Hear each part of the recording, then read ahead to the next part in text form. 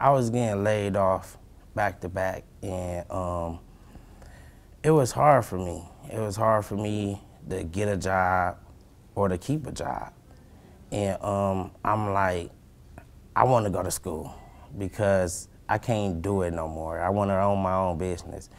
And I knew I just couldn't get out in the business field because I didn't know what I was doing. So I came here at Gateway and they showed me and they learned me on how to start a business, how to keep a business, and how to keep it running. I love all the teachers. I, I've been here, I've been here at Gateway. I started in 2008 and I graduated in 2013. So it's, I went through all the teachers. I went every teacher that was here at Gateway.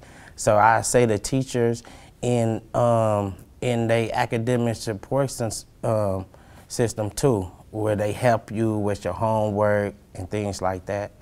I liked it because you could come anytime. Even they had it on the weekends. Um, you could come anytime before class, after class. You could get on the computer if you need any type of help you need, math, um, business, any type of help, they there.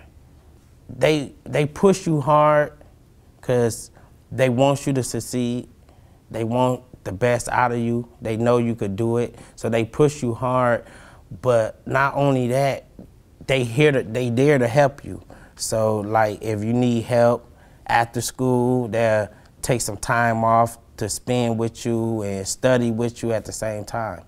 You know, I'm a special needs student, you know, and a lot of people would be scared to say that, but I'm not. You know, I'm not afraid to say that because they help me. You know, it's not because you slower than others and things like that. You might be, but if it impacted me a lot because they knew I could do it. They knew I could finish school as long as I put in my hard work. And they helped me, and now I graduated.